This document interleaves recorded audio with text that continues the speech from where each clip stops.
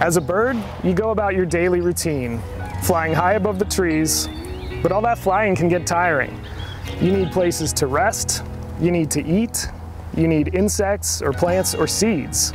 You also need clean water, and for that, there must be healthy native habitat. Hi, I'm Alex, one of Friends of the Mississippi River's two ecologists. And at FMR, our land conservation team strives to have the greatest possible positive impact on the natural world.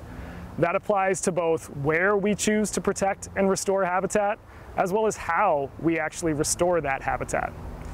And one of the most important things that we can do for the plants, animals, and people that depend on the natural world is to create corridors of protected and restored land.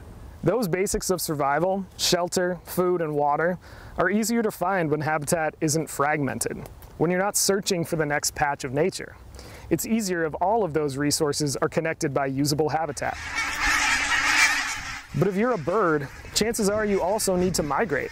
This migration aspect is critical, not only for birds, but also for many other animals, including monarch butterflies and some mammals. And species migration will be more necessary as our climate continues to change and to warm, making habitat corridors all the more important for these species to get to new habitable areas.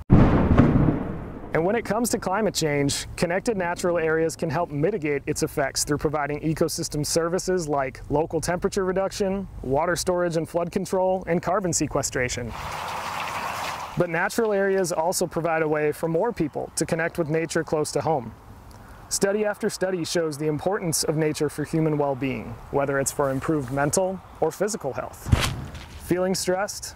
Get out in the woods and feel your heart rate slow and your blood pressure drop. Corridors provide all of these benefits and more for our communities, including our feathered friends like our imaginary bird, and the more than 300 other bird species who rely on the Mississippi River Flyway.